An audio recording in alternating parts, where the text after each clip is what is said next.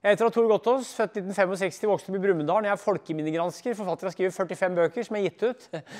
og, eh, nå skriver jeg en bok om eh, treninga til Petter Northug. Den heter 'Petter Northug en viljeskalle'. og treningshistorien, altså treninga. I perioder har han ikke gjort noe annet enn å trene, så det er også livshistorie. Men det er ikke biografi. Skjønner den treninga til Petter, Hva har han gjort for noe, egentlig? For det, Alle vet jo om Petter Northug, men ingen vet hva han har gjort. egentlig. Og nå får vi vite hva han, hvordan han har trent. altså. Men, men også lager jeg en bok om norske tømmerkoier. Eh, også en bok om, eh, om, bok om eh, skimus i Holmenkollen, og en bok om norske sparkstøttinger. og så skal jeg lage en bok om flaskepanterhistorien. Nei, det er masse, masse, masse ideer. Altså. Men, og jeg har en tendens til å prate fort, men jeg begynner rolig å prate fortere. fortere. Men si fra hvis det går fort. Jeg har vært mye, jeg har vært mye på gamlehjem og sykehjem, men jeg får betalt per ord, så jeg er nødt til å prate helt fort. altså. I dag så er det gratis. ja. Men uansett, ordet langrenn det kommer av langt skirenn. For i 1888, 7. februar, det var en tirsdag, så starta verdens første femmil ved Majorstua i Oslo i Kristiania. Det var flere som røkte før start for å åpne lungene. Det var bøtter med kaldt vann i skogen. Det var to ganger 25 km. Koteletter og karbonade midtveis. Og de sa det var tvungen ølservering i mål, for det var så dårlig vann da. Da drakk jo unga øl på skolen. da. Eh, og da vant Torjus Hemmesveit på 4.26,30. Han hadde én kort stav. Det her er en som heter Odin Løkjell. Det er tatt på i Meråker, der hvor skolen ligger i dag. Så det er altså en trønder. Nummer én hadde én stav. Han gikk altså på 4.26,30. Hadde spesiell teknikk, vrikkende teknikk, og hadde ski uten smøling. Det var såkalt kyru, altså tjære. Nummer to, Peder Eliassen fra Løten. Han hadde to staver. Eh, nummer tre, altså Han som vant, hadde én. Nummer to hadde to. Nummer tre, han het Nils Kampa, var fra Nordmarka. Han er onkel til Bjarne Iversen, som var på det norske stafettlaget Ole 1936 da den finske løperen mista gebisset, gikk tilbake og henta tenna og vant allikevel. Og nummer fire var jo Ernst Bjertnæs Vesteraker. Han var ingeniør. Nummer fem var Anton Tingstad Løten. Og nummer seks var Edvard Lillehagen Bærum. Det var de seks første. Det var 32 påmeldte, 17 som starta, 12 som fullførte i verdens første femmil. Og tremenning til min tippoldefar, han het Sigurd Gotthoff, han stilte ikke opp. Han var påmeldt. Han var pudding. Men da ble det sagt, da ble det hetende langrenn. Og jeg var på et foredrag for noen år siden hvor det var en verdensmester på ski som sa det at han ikke visste at det kom av langt skirenn. Altså Sprintlangrenn er feil å si, for sprint er sprint, og la, la, altså langt skirenn. Eh, og Samene har gått på ski i hundrevis, tusenvis av år. Men vi kan si at moderne langrenn ble organisert da på, på 1880-tallet. Og hvis du husker en som heter Ole Ellefsæter, husker han? Han døde i høst. Han døde vel, var det ikke 18. oktober, tror jeg, og halv ti om morgenen ca. Eh, han skulle felle et tre. Han hadde lagd, eh, eller halv elleve, tror jeg det var. Han hadde lagd felleskåre i treet. Så satt han på huk for å felle treet. Og så datt han over, bikka han over. 83 år, tømmerhugger, skiløper. Det er bra måte å drø på. Altså, ja. um, han, han, han, sa det. Femmila er mest som det som er langrenn, sa Ole. Altså, femmil, det, ja. Og han, han vant jo femmila i Ole i 68 og femmila i Kollen i 67, NM i 67 og femmila i Lahti i 67. Han, han, sa det at femmila det er langrenn. Og Petter Northug, som jeg skriver om nå, han sier da han ble, han ble skiløper, var målet å vinne femmila. For det er, det er kongeøvelsen for menn. Nå går damene òg. Damene skal jo gå, skal jo gå femmila i Kollen i år. Eh, det er litt dumt at Therese Joa var lagt opp, for hun ville vært uslåelig der. tror jeg, på den distansen der. Eh, og eh, det, det var den første femmila. og Eh, eh, da fikk vinneren verdt en premie verdt 400 kroner. Eh, og han solgte premien og dro til Amerika. Det gjorde nummer to òg. Han fikk en premie verdt 80 kroner. Og ca. 40 av skipionerer fra Telemark, inkludert Sonne Norheim 1825-1897, solgte premie og dro til Amerika, for det var fattigfolk. For det var satt opp ganske bra premier. Noe som het Sentralforeningen for legemsøvelse og våpenbruk, stifta i 1861 med tanke på løsrivelse av Sverige hadde satt opp, eh, satt opp premier for, for, å stimulere til skigåing med tanke på militær skiløping. Altså, ja, jeg har skrevet bok om skihopping som kom i fjor. Eh, norske hoppbakker. Det, det, er jo tilbake til 1808. De har hoppa på ski i hundrevis år, men eh, en som heter Olav Rye hoppa, hoppa 9,5 meter i 1808 i Eidsberg. Og, og, og, det var jo en sport, men langrenn var også mer krigsviktig, da, å gå på ski. Men de hadde en øvelse hvor du skulle skyte og hoppe samtidig. En slags hoppende utgave av skiskyting. Det var, det var, en øvelse i militæret, men langrenn var altså i krig. altså, så Det var skiløping og forsvar. Eh, løsrivelse i 1905. Uansett altså, eh, var da den andre femla Norge, det var den andre femla i verden var i 93 i Finland, 1893 på Østersjøen, 12,5 km att og fram. Og så var det, en, to, var to i Finland i 1893-94, og så var det en i 1902 i Kollen. Men da var, da var Kollen i 92 eh, altså Husebryene begynte i 1897. I 79 ved Huseby så var det lite snø, og i 92 var det flytta opp til Kollen. Da sa de at nå går det til helvete med skisporten, det er så lite snø. 93 var rennet ved Kollen, og da het det Holmenkollrennet. Og i 1902 så gikk femmila fra Frognersetra. For det var lite snø i Kollen og mer snø ved Frognersetra lenger opp. Eh, og da var det, eh, var det tvungen pause midtveis på fem minutter. Alle løperne måtte stoppe fem minutter midtveis og spise brødskive og drikke mjølk. I mål tok de pulsen på deltakere og delte pulsen på tida. og fant vinneren. Det gjaldt å lavest mulig puls.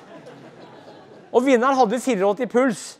Han het Carl Hovelsen og kom fra Kristiania. Han var en av elleve unger, født i 1877. Han, han, var yrkesmilitær. Han ville være yrkesmilitær, men han var altså murer. Så han, han, han var langrennsløper og vant til 02-03. Og 1904 så vant en kar som het Per Bakken fra Vestby i Trysil. Han er yngste vinneren av Femmila Kollen. Han er født i oktober 1882 og vant Femmila 04. Men uansett, Femmila begynte altså med to ganger 25 km, og fra 14 så var det én sammenhengende runde på fem mil. Og da var det nesten ingen som brøt, for da måtte du gå tilbake uansett. Eh, og det var et mannskap som brøyta løype da, på den femmila her i gamle dager. og De brukte ei uke cirka, på å vasse rundt i skogen.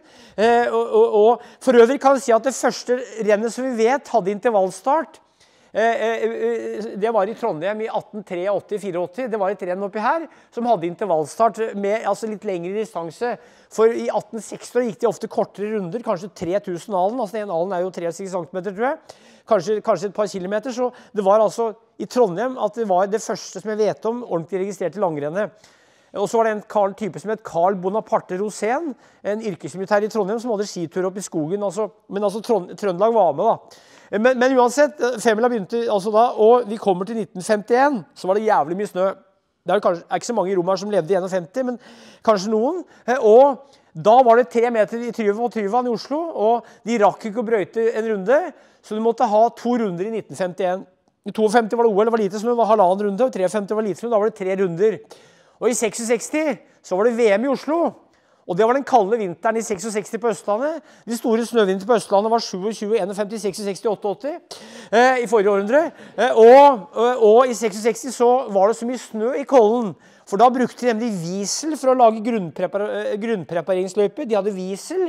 Og De kjørte Wiesel eller noen slags beltebil, eller scooter kanskje, eh, og så måtte de kaste unna snø.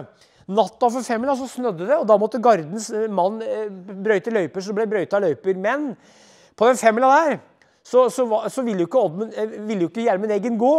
For Gjermund vant gull på 15 år i stafett.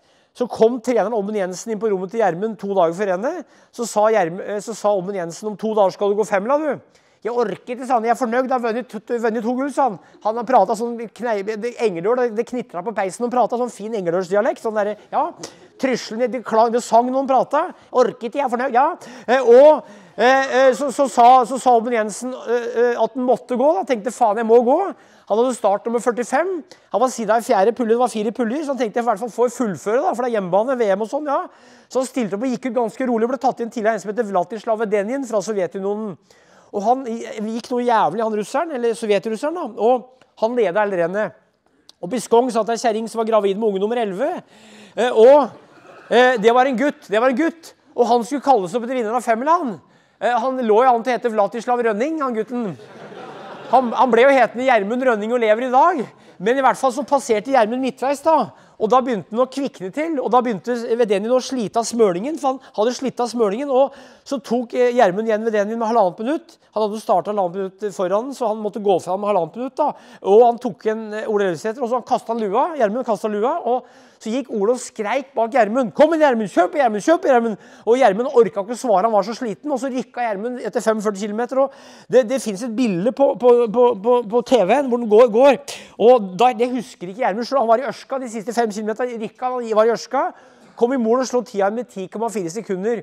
Eh, og vant i 66. Det er den legendariske femmila Kollen, som varte fra 66 til 97. Så er det tre runder fra 98. Det første som vant, var Prokhorov. Og så er det seks runder fra 2010. Det var da den runden som er i dag. Det er den legendariske løpet. Og i 2019 så lagde gutta på tur et program. Jeg prater jeg for fort, eller? Jeg kan prate mye fortere, altså. Eh, så, så lagde gutta på tur et program om femmila Kollen, hvor, hvor Gjermund var æresgjest sammen med Oddvar Brå. Thomas Vassberg. Eh, Mito var invitert, men han kom ikke, for han hadde dobbeltbooka seg. Vassberg, eh, Harald Mortmann, som, som leda femmila i 52 OL, han, han, han, sprakk på siste mila, ble nummer åtte. Eh, Petter Northug, Sjø Røthe, Bjørn Dæhlie, Vegard Ulvang. Jeg var der, jeg òg. Og så var vi da eh, i VIP-teltet lørdag 9. mars. Gjermund, Oddvar og jeg.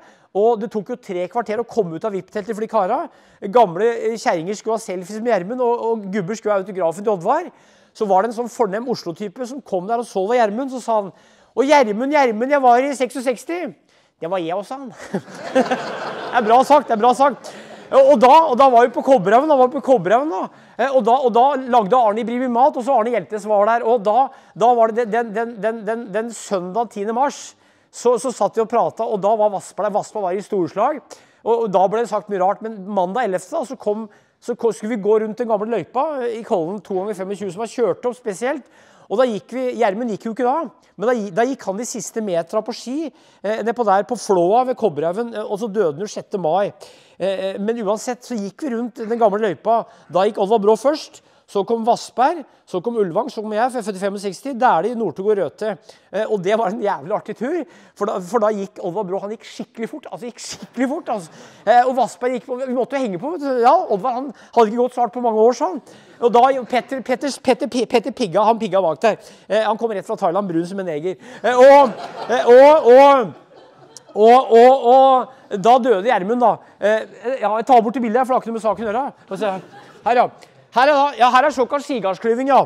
Det er, det er, Martin Lundemo som passerer en skigard i Kopperøy 1932, såkalt flatpassering. Eh, og han er, han er, bestefaren til Hallgeir Martin Lundemo og far til Magna Lundemo, som var norsk landslagstjener. Magna levde jo fra 1938 til 1987. Han døde jo tragisk før han var 48 år. Døde i januar 1987. Men her, her hopper han over sigarden, da. Og Det var en vanlig teknikk, særlig før krigen. De trente på det her. Å hoppe over skigarder. Og det var fram til ca. 1950 at det var vanlig med skigardsklyving. Det var en tremil i Brumunddal i 1922. Da var det 17 skigarder å passere. Eh, og, og, og, da sa folk fra Hamar, Gjøvik, Oslo og Lillehammer nå har Brumunddal juksetrent. Nei, sa Brumunddal 17 skigarder må vi tåle. Eh, og rennet ble arrangert. Og det var det Torleif Haug som vant. Han var fra Orkvistad i Lier, flytta til Drammen og gikk for Drammen. Han vant det rennet der. Han var jo veldig populær. Eh, Kara skulle spandere brennevin på når kvinnfolka ville ligge med han. Så, så han, han, kom, Det var fest om kvelden i Brumunddal. der. Og, og, og Formannen i skiklubben hadde fest, og der kom det tre ufte søstre som ble kalt Madrassen, Putevare og Dyna. Her, ja. Her, ja. Her er Elling Rønes. Han er født i 1882 oppe i Trysil. Mora var gravid, det var på sommeren i juli 1882. Mora satt og mjølka kua plopp. Mjølka videre, det var ikke noe fødselspermisjon i Trysil da. og han var, han var gjeter i oppveksten. Han løp sammen med eh, hestene og kuene i skauen og fikk en jævlig lungekapasitet. Her er han 73 år og blir undersøkt av legen, og da sa legen at det var lunger helt i ræva. Så da var han 73 år. Og han ble bare, bare 1,63 lang, for det var mange søsken lite mat og, og, mye arbeid, da blir du ikke så lang. Men du blir desto mer innsei. Har du hørt uttrykket innsei? Er du seig, er du seig, er du innsei, er du enda seigere. Therese Johaug var innsei. Det er akkurat som hardt, og så knallhardt, og så knellhardt. Og det aller hardeste er knullhardt. Eh, og Rønnesen da, i 1906 det her er sant, folkens, Nå var han tømmerhugger. Og da bodde han i det som kaller deg, Er det noen som vet hva gjørkoie er for noe? Gjørkoie, Altså ei koie med som er åpen i taket. da. Der bodde han sammen med fire andre karer, så på en brisk, eh, levde som et grisen har det bedre i dag. Eh, og han skulle være med i Femmila Kollen for første gang. Eh, han, gikk da, han, han arba en dag, så, hø, så høyt tømmer en dag. Og så gikk han på ski om kvelden og natta fra Trysil til Rena, sju mil. Tok toget fra Rena til Østbanen i Oslo eller Kristiania. Gikk av toget der, gikk opp til Frognersetra og skulle starte Femmila. Det var tirsdag 6. februar 19, Det var tirsdag 5. februar 06 var det vel. Ja, og forferdelig møkkafør. Det var snakk om å sende ut leteaksjon. Det kom ikke noen løper på tre timer og fire-fem timer. Han vant på 5.33, som er den dårligste vinnertid i noen, noen norsk femmil. Og da hadde han en spesiell teknikk. Den såkalte trysilslengen. Man løp og staka inn sånn. Spesiell måte å gå på. Og det var egne teknikker i ulike bygder. Rindalen så hadde Rindalslengen. spesielt måte å gå opp i Rindalen. Så, det var egne teknikker i bygdene. Eh, Rønesen han, han kom da i, i, mål, og han vant. Eh, og Da var det premieutdeling i Rokokkosalen på Grang. Tenk på det. Der var det en lang eh, innvandrer som het prins Carl. Han kalte seg Håkon 7. Han var konge av Norge. Han var, var innvandrer, ikke flyktning, men innvandrer. og han... Han, han, delte ut pokalen til Rønesen. og Tenk på den sosiale distansen. Du bor i ei gjørkår og lever som en gris. Vinner femmila for en pokal i Rokokkosalen på Grang og tilbake til Tømmerskogen. Han vant i 06, 07, 8 og 16, og han flytta i 25 til et småbruk oppi Han, han var fra Nordre Trysil, flytta til innbygda, så flytta han til Flendalen. 25 km innafor ja, skrått opp til høyre fra innbygda, sett mot Engerdal. Og han, han flytta på et småbruk som het Rundhøa, eller Rundhøen. Og der hadde han ei tjenestekjerring, vi kan si tjenestedame. da, De var sammen, da, men de var ikke gift. skjønner du? Og hun hadde en sønn som jeg snakka med, for jeg intervjuer gamle folk før de dør. Ett er for seint. Det er ikke alle som har skjønt det. Eh, og venter med døve, men det er for sent, ja. Og han sønnen sa følgende Fostersønnen sa følgende Jeg har bodd sammen med Rønes i 14 år, sa han. Vi har spist ved samme bord i to, tre, fire måltider om dagen. Vi har bodd sammen to vintre i ei tømmerkoie. Men jeg har aldri ført en samtale med ham, sa han. Han sa ingenting. Han var jævlig grei. Han smilte. Ja, ja men altså, han prata ikke. Jeg prata ikke. Han arbeida gikk på ski. Eh, og, og eh, Jeg var på foredrag i Flendalen. Der var det 60 fastboende. Gjett hvor mange som går på foredrag. Det var 160 på foredraget. Det er bra. Og Rødnesen var førstemann i mål i Birken i 32. Det var da 20. mars 1932. Så var det første Birkebeinerrennet. Og da var det en trønder som vant, som heter Trygve Beisvåg. Han skøyta i mål på 4.51,40. Og da var det sukkersnø, for det var nemlig lite snø i 32 og 34. I 32 var Vaseloppet avlyst, det var det i 34 òg. 32, 33 og 34 var det dårlig snøvintre. Eh, det var så lite i 33 at Norge dro ikke til VM i Innsbruck, eller FIS-rennet. Men uansett så skøyter han eh, trønderen. og Han gikk for Vålerengen idrettsforening, men var fra øya Elvalandet, Namsos oppi der. Og han skøyta i mål, for her var det nemlig sukkersnø, påmåkt sukkersnø. Det var sju matstasjoner. På siste matstasjon var det bananer. Flere åt bananer med skallet på, for jeg hadde ikke sett før. Eh, eh, eh, og, og, det var et fly, var et fly som filma Birken. Både, og det styrta for innkomsten. Både flyveren og fotografen overlevde. Og onkelen til far min han ble 101 15 år. Onkel Ragnar skulle vært her. Han var født i 17, men han rakk ikke toget den dagen. Og onkel Ragnar han gikk på ski sist han var 99 år, 11 måneder og 3 uker. Da klagde kjerringa på at den gikk sakte, men han, snøen var smelta da han fylte 100 år. Men han, han, han, gikk over han i 3-34, så jeg snakka med folk som var der. Jeg altså med gamle, jeg begynte tidlig å snakke med gamle folk, for det jeg har i huet her, er mye fra gamle folk. Men uansett, da, her så var det Birken, og det var Norges første tur igjen. Eh, og eh, han vant. Han hadde starten om 198, men han var etteranmeldt. For da var det nemlig sånn at eh, han ble nummer åtte på Femmila Kollen det året. her. Eh, favoritten han het Gjermund Muråsen fra Trysil. Han vant Femmila Kollen i 32. Men dagen før Birken fikk han det som på brumunddalsk heter dritoa, altså diaré. Han dratt, dreit og spydde hele natta. Han åt, eh, han åt byggrynsuppe med blåbær om morgenen for å få møkka til å sitte. Så gikk han tre mil og brøt, så han gikk tilbake. altså Han gikk seks mil likevel, sjøl om han brøt. Eh, men, ja, og, og ja, den eldste i Birken altså, Rønes kom i mål på, på 5.19,04. Han var da 49 år og 8 måneder. Og den eldste var en trønder som var 51,5 år. Han, han var bryggesjauer. Han tok nattoget tilbake til Trondheim og gikk rett på jobb. Det var ingen som var så, Jeg er 58 år snart. Det var ingen som var så gamle som meg som var med, for da var det skikkelig olding. Det var noe som het Eldres idrettsforening i Oslo. Det var gutter over 35 år. Så, så det var gammel da. Og damene fikk ikke lov til å gå. Men Allerede i 33 så krevde damene å være med, og så tidlig som i 35 var det damer som gikk. Så da, Jeg skrev en bok som het 'Birken' på 500, 500 sider. Eh, og, og masse damer som har gått Birken, Men det ble lovlig først i 1976. For det var mange damer som gikk langrenn og hoppa på ski, men det var et forbud da, i Norges Skiforbud. Altså, ikke Skiforbund, Norges Skiforbund heter det. var imot alt. Eh, så, så, så, De trodde at eh, kvinnfolk som hoppa på ski, der kunne, kunne livmora dette ut, eller eggstokken dette ut. Eh, eller, eller, at hele som jeg sier, interiøret kunne gått til helvete. Hvis du skjønner. Eller at hoftene kunne bli ødelagt. Men, men det var menn som sa, da. Pluss at eh, damer sa det for de var redd for at jentene skulle slå seg i skihopping. Så det var mødre som sa til døtre du må ikke hoppe, for det er farlig. og Da, da hadde de sånne historier som de ikke trodde på sjøl, men ja, akkurat som nøkken i havet. At eh, du kom med nøkken og tok deg i vannet, og drukna. Ja. Men uansett, damene var med først i 1976. Eh, eh, I Birken, Da var det Berit Møller Lammedal som vant, og damene fikk gå vaselopp i 1981. Så det er en egen, men i boka så står det om damer som gikk uten at de var med av konkurransen. Her, her er, ja, og Eh, eh, det var Reinsfjellrennet var et av de første i Trøndelag. Eh, og, og, og, og, her har vi da Vaseloppet starta i 22. Først så vant han et Ernst Alm. Han vant, men han visste ikke om det, for det snødde så tett den dagen. Og Problemet var at det var så langt at løperne orka ikke ha noe fest om kvelden, så de begynte å ha banketten dagen før rennet. Og da, da var alle fullsjuke, så det gjaldt å spy ferdig første mila.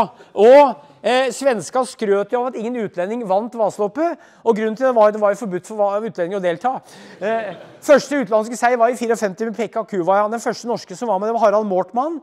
Som var med i 1951 og var fra Heming. Født i 26, døde for to år siden. Ble 95 år. Jævlig ålreit kar. Eh, han, han, var med, og da fikk han reisepenger fra fra Sverige, for det, i Sverige var det mer penger enn Norge. Men han vant altså i 1922, han her. Ernst Alm fra, fra, eh, fra, fra Sverige. Her, ja. Og da har vi da har vi da han Her er Johan Evjen, da. Han, han Der, ja.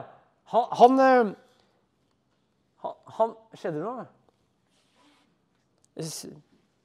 Sitter fast nå. Et eller annet tull. Skal vi se.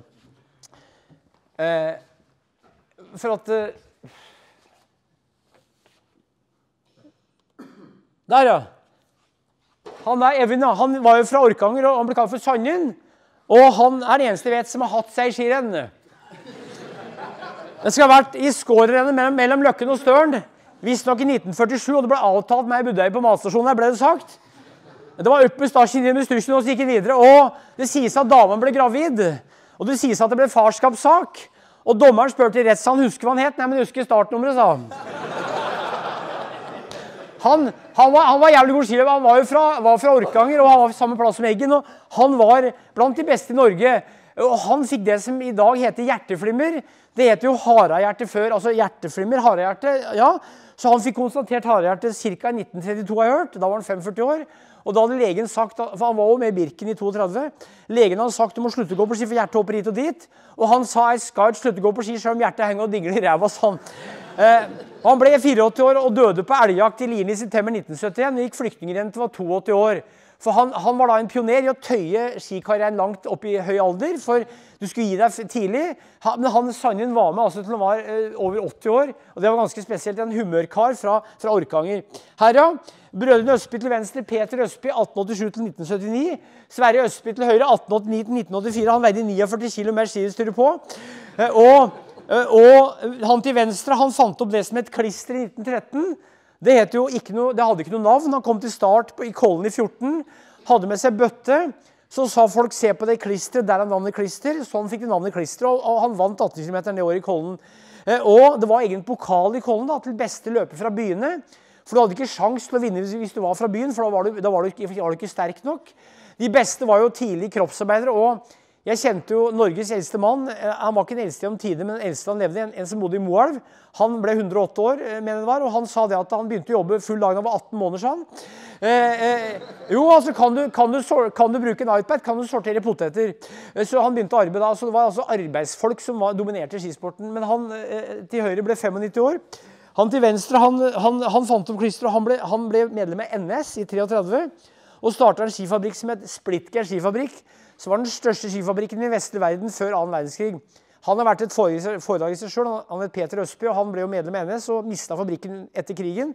Det var, det var, lov å være NS eh, eh, før krigen, det var lov å være NS under krigen, og det var forbudt å være NS etter krigen, så han mista fabrikken. Det er en egen historie. Men han var altså et, et, et, geni. Han var veldig flink. Han fant opp ski med plasthåle allerede før, før, eh, før 1950. Og Jeg snakka med en kar som brukte de skia i 849. Han fant opp ski med plaststråle i 849. Altså en, en framfusen type, men som ble ødelagt pga. krigen. Altså. Eller ettermælet ble ødelagt. Men lagde Østby skismøring og Splitgern ski her, ja. 26 Finland var det VM. Det var så kaldt at de finske løperne gikk med gipsmaske på femmila. Var 42 minus. Så ut som dødningehoder i skogen. Eh, og det var, det, var, det var, snakk om å Løpere var store bål, så løperne uh, varma seg og gikk videre for å unngå å fryse i hjel. Eh, og vi vet at eh, det var aldri noen kuldegrenser igjen før krigen. Jeg vet om bare ett avlyst renn før krigen. Det var på Tynset. Det var alltid legeundersøkelse før start. Var det kaldt, så var det legeundersøkelse av understell etterpå. Det var en kar som kom i mål, helt ødelagt. Det var minus 30. Så spurte legen kan jeg bruke den her noe mer. Det blir ikke ingen stalskuk, sa han. Det kan bli en god arbeidskuk, sa han. Han fikk, han fikk tre unger. Fikk tre unger. Han, han til venstre, han ja, han het Olav Kjellbotn, han til venstre. Han var da den første trønder som vant femmila i Kollen. Han var fra, var fra, gikk for eh, Namsos, eh, eller Kjell, han var fra Kjellbotn, som er nord for Namsos, tror jeg. Han var en av elleve søsken, tror jeg, og han, han vant femmila i 1926 eh, på 3.45. 3.45, og det var bra. Eh, han til høyre han var med på den femmila i 26, eh, og han fikk unger seint. Han var født i 1898, og døtrene er født i 42 og 44, tror jeg. Og Jeg snakka med døtrene, så han, han, var med på den femmila hvor det var minus 42. Og han til høyre han døde etter, Altså, han til venstre han døde. Han til høyre var Kjellebotn. Kjellebotn til høyre, og han til venstre han het Asbjørn Elgstuen, Elgstua. Han døde etter det rennet i Lahti, for han fikk en forfrysning på 18 km. Og fikk en forfrysning og en hjerneinnbetennelse og døde tre uker etter skirenn. Eh, og vi kan si om teknikk, da, for jeg skal lage en, eh, skal lage en bok om langrennsteknikkens historie. For det er, så, det er, jævlig artig, det, for at det, de hadde ikke navn på forskjellige teknikker. Du, så de lagde en teknikk som ble hetende diagonal. Og i Trysil var det en egen teknikk som jeg sa Trysilslengen. Og i 1913, jeg tror det var 27. februar 1913, så var det, var det båndmålt ei løype i Østby Trysil på 12,5 km. Og den dagen var det skareføre, og da kunne de pigge. Så, så verdens største skitalent, en som het Carl Christoffersen, født i 1895, han pigga da fire runder på 3.31,52. Tenk på det. Han var, han var i sitt 18 år. 3.31,52. Han var skisportens Jakob Ingebrigtsen. Pigga femmila på 3.31,52 i 1913 i Østby Trysil på båndmålt runde på 12 ganger 5,5 km. 4 ganger 12,5. Eh, han døde av tuberkulose i 1916. Men det var, det var, den teknikken. altså Staking det var vanlig i Finland og Sverige òg. For i Finland og Sverige så begynte det med pigging. Eh, jeg har bilder fra Finland, men særlig Finland, hvor de pigger. Det er først med at finna og svenskene prøver å vinne i Kollen, at de må legge om både skiteknikken, eh, skihåndverket og stavhåndverket. For de hadde lange staver uten håndtak, der det passa, og nesten tre meter lange ski. Så langrenn i Norge med, med terrenglangrenn med 7,5 kvart 7, Jeg skjønner jeg bare sov i 3,5 timer i natt. Krangla med dama. Så jeg, ja.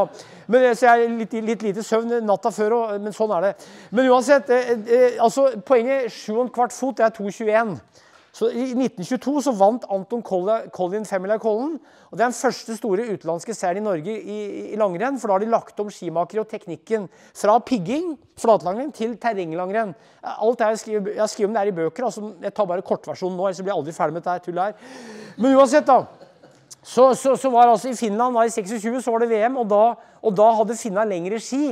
De hadde ca. 2,40 lange ski da fortsatt, men i Kollen så hadde de kortere ski. Eh, eh, og han, han, han, eh, til høyre han, var altså da en av de gode. og han, I 28 var det OL i St. Moritz i Sveits. Og da vet vi at da tapte Kjellbotn sist en halvtime på smølingen til en svenske som heter Hedlund, som vant. Det var mer å tape på smørningen i 1928 enn i dag. Hvis skia trakk vann, så ble skia tyngre, spennet gikk ut, og treski skilte mer. Så smøling hadde, ga større utslag i 1928 enn i dag. Og i 1917 var det hovedlandsrenn på Dokka, altså NM heter fra 1938. Et hovedlandsrenn fra 09 til 37. Og i 17 var det hovedlandsrenn på Dokka i, i Oppland. Og Der var det en kar som het Mikkjel Fønhus, en forfatter, som skriver om smølingsgalskapen. Folk bruker masse tid på å smøre og på å preppe ski. Så det var en galskap da for 100 år siden som det er i dag. Og Det var snakk om at du skulle smøre løypa. Det var snakk om å ha et tønne med skismøring. I Os i Østerdal brukte de ørevoks som skismøring. Jeg plukka ørevoks med fyrstikker om sommeren på gamlehjemmet og kokte til skismøring. Eh, og Torleif Haug brukte jo grammofonplater. Da hørte han på plata først og kokte de dårlige sangene. Eh, sånn var det, men altså, det var en galskap om smøling. Så det, er ikke, alt er gammelt, ingenting er nytt. Eh, her, ja. Her har vi da noe som heter rottefella. Det var en binding som Bror vant, fant opp i 1927. Her står det hvitt. ja. Og han hadde ikke noe navn på bindingen. Så kom han til start på et renn på Ullern i Oslo. Og Der sto det en kar som het Krompis Olav. eller Krompen hans, hørte man. Ja, Og Olav sa det. Eh, hva er det for noe, sa han. Der er gammel rottefelle jeg har kjøpt, sa han Bror Hvitt. Der er navnet Rottefella. Og den, den, har hatt mange forbedringer og lages fortsatt i dag på, i Lier utafor Drammen. Eh, så den fins enda, men det er, det er rottefella eh, oppfunnet i 27. Og jeg, jeg, jeg var jo, skrev bok om hoppbakkere, og jeg jobba jo på skimuseet Holmenkollen. jeg. Jeg var militærnekter. Jeg jobba der i 88-89, fra 11. april 88 til 9. august 1989. Eh, og da bodde jeg inne på Sletta i, i tømmerhytte i 16 måneder. Det var jævlig fint. Eh, og der var det en statue av kong Olav eh, som gikk på ski sammen med bikkja si. Jeg tror han het Troll. Han gikk på ski der, og, og, og det var det mange turister som tok bilde av. Eh, jeg bodde jo rett ved statuen, men problemet var at det var så mange duer og måker som dreit på kongen. Så, så, så, jobben min var å vaske kongen hver dag. Litt diskré. Så jeg hadde foredrag for kong Harald som sa at jeg vaska faren din på ryggen hver dag i 16 måneder. Så. Det synes jeg var morsomt å høre. Her, da. Her er da en, ski, en skifest for eh, Det var noe som het skiseksa. det er da, Ordet seksa kommer av eh, Seksa er et svensk ord som betyr lystig aftensmåltid, starter i 60 og det var mye skifester. òg. her er en skifest i Veldre. Altså, jeg er fra Brumunddal. Jeg er fra Veldresida i Brumunddal. Her er en skiseksa i 1932 utafor lokale Veldrom. Her er vi ordentlige mannfolk. Det er ikke noen puddinger. Så, nummer, bak der har vi Snekkersven. Og så har vi Ellefseter nummer 14. Han het Alfred Thoresen. Hvis noen tok en han i rennet, så sa han jeg ser det på festen i kveld, fikk de juling. Eh, han var farlig. Han var bygdeslakker og slo, han slo 9000 griser. Han var farlig. Han gikk du ikke forbi. altså. Det var skummelt. Eh, i, i, dag så ville han vært i fengsel, og da var han en helt. Han var bygdeslakker og slo deg griser. Men uansett, her var det da en fest etterpå. Og Da var det en raring i Veldre som het Alf i fornavn og Olafsen til etternavn. Han var griskokk. altså Alf Prøysen het jo Alf Olafsen, faren het Olaf. ja, Men Prøysen het jo Husmannsplassen, så han tok navnet Alf Prøysen etter hvert. Og Prøysen hadde skrevet en revy det året her, revytekst til den festen, for det var en stor fest etterpå med mye folk. Og Det året hadde Prøysen tatt permanent. Det var ikke så mange griskokker veldig i 32 med permanent. Og Prøysen var jo skakk i ansiktet. Han var på Sjulsjø som gjeter og fikk tannlegg. Så, så satte seg i kjeven, og hadde ikke råd til å gå til tannlegen, så han ble skakk i ansiktet. Så Prøysen kom ned på festen og sang om permanent med slakkere og slakkere, og ansiktet ble skakkere og skakkere, og så var det fest. Eh, og, og, og det her var en skifest, da. Og det var en god del drikking i skisporten før krigen. og Vi vet at eh, f.eks. i hovedlandsrennet på Elverum i 1921 så satt jo kong Haakon der, og det, jo, det kunne jo ikke skjedd i dag. Da løperne datt ned fra scenen, og det var, det var totalt dritings. For det her var jo folk som, det var brennevin, det var jo karsk. Så det var jo harde skogskarer som drakk. og det var, det var, Sånn hadde det ikke gått i dag, altså, at, hvis du skjønner. Men sånn var det litt i den kulturen der. Det var hard skigang og hard drikking blant en god del. Eh, her, ja. Her er, da, her er en av mine favoritter. Hør på navnet. Konrad Nordfjellmark, altså fra Klinga skilag. Nordfjellmark, altså Nordfjell og Mark. Du er ikke noe pyse når du heter det. Så Se på den typen, da. Norges beste tømmerhugger før krigen. Se på den kroppen. Hoftesmal og skulderbreid som en sirkusartist. Jeg snakka med en som har stått i dusjen sammen med han på skirenn i 1937. Han har aldri sett så fin kropp på noen kar. Det var muskler og blod overalt. Sånne folk fins ikke i dag. Du må begynne å jobbe tidlig. Han var så jæ... Du vet, I mellomkrigstida kom jo barkespaden, for før så barka de med øks. Men så kommer barkespannen. da måtte du barke på begge sider, så ble magen hengende ut. Eh, du, ja, og han hadde jævlig god arbeidsteknikk, og når du arbeider, så må du, eh, må du være slapp, avslappa i bevegelsen. For at hvis du setter en ungdom til å arbeide i dag med kroppen, så begynner han å arbeide som faen. Men da, da blir, du må slappe av, du må ha bevegelser. Og han var dritgod til å arbeide, han holdt mye opp i liene oppi der. Og, og ble nummer tre på femmila i 33 i Kollen. Så leda han i 37, brakk en ski og en stav og vant aldri femmila i Kollen. Men han var Norges beste tømmerhogger òg. Han ble lagd filmer med. Eh, og han, han, han, han, eh, var instruksjonskar i filmer og i å lære arbeidsteknikk. For eh, det var jo 40 000 norske tømrere kanskje før krigen. Og han var den som høgg mest og best. Men det var en kar fra Snåsa som hadde utfordra Nord-Finnmark på en skogsskole oppe i Steinkjer, som visstnok hadde høgg mer. Og da var det noe som heter bit i Trøndelag. Det var, eh, jeg tror du skulle felle et eh, tre. Skulle du kappe, skulle du barke. Jeg tror det var fem meter lange. Han hadde klart 105 bit på en dag, visstnok. Men han trønderen, han andre klarte 110. Men et, et fenomen innen arbeidsteknikk. Eh, Nordfjellmark og jævlig fine skiløpernavn. Så Jeg har samla på sånne skiløpernavn. Du har Knut Gauteplass fra Geilo f.eks. Du har Kristian Skredemellom. Du har Simen, eh, han var fra Gudbrandsdalen. Simen Kulperengen fra Lismarka. Pål Gunnar Mikkelspass. Og så har du sånn moderne løpere som var det ikke Snefrid Snøløs som het. Et eller annet sånt, Men uansett, da. Eh, her har vi da Haugern, født i 1894. Eh, han var da god på femmila, vant femmila Kollen seks ganger. Og han, sa, han smørte med grammofonplater. Og han Eh, han var, jo, han var jo et nasjonalt ikon, fikk problemer med alkohol. Og han døde i 1934, i en alder av 40 år. 12. desember. Jeg snakka med en kar som var hos ham dagen før han døde. Han hadde jo lungebetennelse og hosta. dagen etter var han død. Eh, for det var jo før antibiotika. dette her. Så Han var jo kongen av Norge. Og da han døde i 34, så var Nansen død i mai 1930. Amundsen døde i 28, så han var, han var liksom kongen av Norge. For kongen var jo innvandrer. Han het jo prins Carl og prata kav dansk. Eh, Håkon var jo en bra konge, han, men han var jo danske. Han var jo ikke norsk, egentlig. Han prata kav dansk. Kjerringa var engelsk. Sønnen var, ja, Olav var, het jo Alexander. og skiftet, ja. Men uansett, altså, var, han var et, ikon, altså Torleif Haug fra, fra Årkvisla, og veldig fin type. Eh, her har vi da Erling Evensen fra Avskokklia, noen som vet hvor det er. Det er mellom Sjøsetra og Mesnali i, i Hedmark. Og eh, han, han var datidas Oddbjørn Hjelmeset. Eh, hvis du ga han en brødskive og to timers søvn, så vant han en femmil. Eh, eh, også, også, eh, i, I dag ville det vært tung ADHD. Tung ADHD. Eh, han ville fått flere psykologer og pedagoger på seg. Da var han en vinner som tømmerhogger. Og det ble sagt at han, han drev og jakta mye på ekorn, han og broren. Da klatret de opp i treet. Så jagde de ekornet ut på greina, så sto faren på bakken og sa 'Varsko, jeg kara, nå skyter jeg'. Så måtte de klatre på stammen. Det er bra. Her, ja. Trygve Brodal Skautroll er født i 1905. var Åtte søsken var fra Hønefoss-trakten. og han, gikk på skolen et par år, og han var en av Norges mest aktive nudister før krigen. Han arbeidet naken for Skiforeningen. Jævlig utstyrt med kølle, stor kølle. Og, og, han traff jeg, for jeg, jeg jobba som sagt på Skimuseet. Jeg traff mange av de karene her. For det, Da jeg jobba på Skimuseet for 35 år siden, så levde jo mange av de karene her. Så jeg møtte faktisk mange av de her, og flere. Jeg var heldig som møtte Da var jeg tidlig i 20-åra, så jeg var jævlig interessert i skihistorie fra jeg var 5-6 år. Eh, og, og, han var der i 89, for han vant nemlig 18 km i Kollen i 39. Og så var det 50-årsjubileum i 89, og da, da, var han full på direkten på radioen. De måtte ta han av sendinga. Han bare prata tull. Eh, og så var han hos meg. Han var en liten kar, 1,65 kanskje. Hadde elskerinne til over 80 år. Skikkelig sprek kar. og eh, Han ble kalt Skautroll, ja. Her, ja. Se på han karen her. Gjermund Muråsen fra Trysil, vinneren av femmila Kollen i 32. Det er ikke noe, det er ikke noe sos, det er ikke noe bortskjemt type der. Han, han sa det. Jeg vokste opp på elgkjøtt og blåbærsaft. Sånn. Det var ni søsken. Når unga ble født, så ble de kastet bort i snøen. Fikk klare seg sjøl. Eh, han, han, han var tømmerøgla, og i Trysil var det, cirka, det var mange gode skiløpere, men det var særlig tre gode skiløpere. Det var Murre Aasen, født i 04. Han var 1,67 veide 67 kg. Så var det Sigurd Westad, han var 1,71 veide 67 kg. Så var det Kåre Hatten, han var 1,63 veide 63 kg. Muskler lå som små tømmerstokker på sida. Eh, og den tida her så var jo de gutta gjetere i oppveksten. De jo, gikk jo barbent fra da hadde unga på landet fri fra 17. mai til september, hvor de jobba på gården og bruket og plassen og hjemme. Ja, I byen var det lengre skoleår. Men de løp altså barbent i skogen. De hadde lang skolevei, og i Trysil i 1915 så var det gyldig fraværsgrunn hvis du møtte ulv eller bjørn på vei til skolen den dagen. Gyldig én dag. Eh, og, og, de var gjetere i oppveksten. Altså, du kan tenke deg, Hvis du var gjeter da, og Olav Thon, som er født i 23, han bor like meg i Oslo, han var jo gjeter i oppveksten, så de løp i skogen. og Det var skiløpere. Har noen hørt om Kenny Ron og løperen? Jeg skrev en bok som het 'Løping en verdenshistorie'. Han var jo fra Kenya, og han er født i 52. Han var gjeter, så gjetere de har ofte godt grunnlag til å bli skiløpere senere.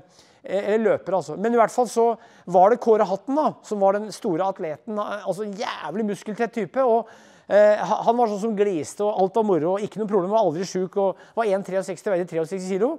Han eh, vant Trysil-50 i 32, og da han vant Trysil, så pleide han å drikke seg full. Eh, og Det året var det fest på lokale Solbakken. Var 350 inne i lokalet. Kåre hatten han gikk på hendene. Når han var i, full, så pleide han å gå på hendene, og jævlig sprek. Eh, og hoppa fra bord til bord på hendene. Og landa på hendene foran lensmannen. Jeg syns det lukter hjemmebrent, jeg, sa lensmannen. Da har jeg fesi, da, sa Kåre hatten.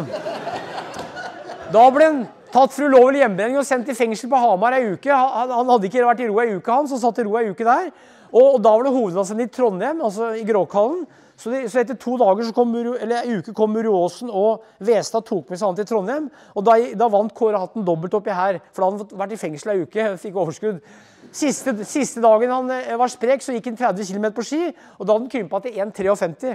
Eh, eh, men uansett, da, det var små karer. og Men det var det jeg sa, innseie typer. da. Eh, og her har vi da stafett. ja.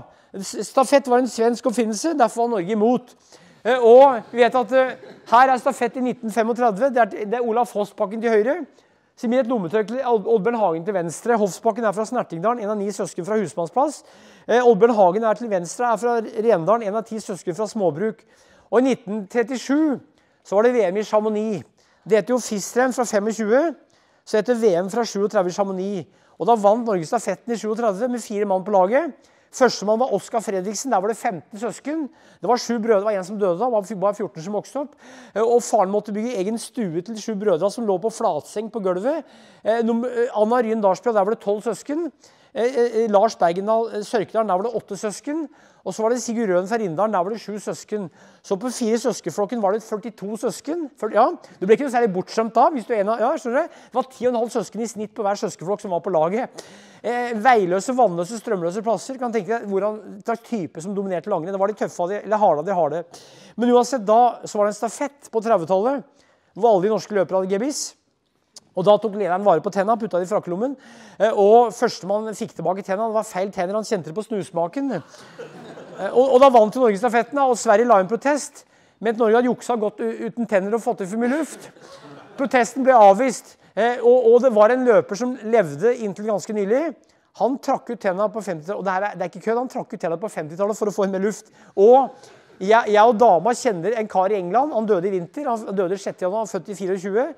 Han het Bill Teasel. Han var motbakkeløper. Han var 1,59 langbeint. Ganske, kroppen begynte her. Ja, og han, han hadde egen gebissholder, for det, gebisset var så dyrt at i motbakkeløpet i England så var det opp og ned. Så særlig på vei nedover var det lett, lett å miste tenna. Så han hadde egen gebissholder som holdt tenna mens han løp.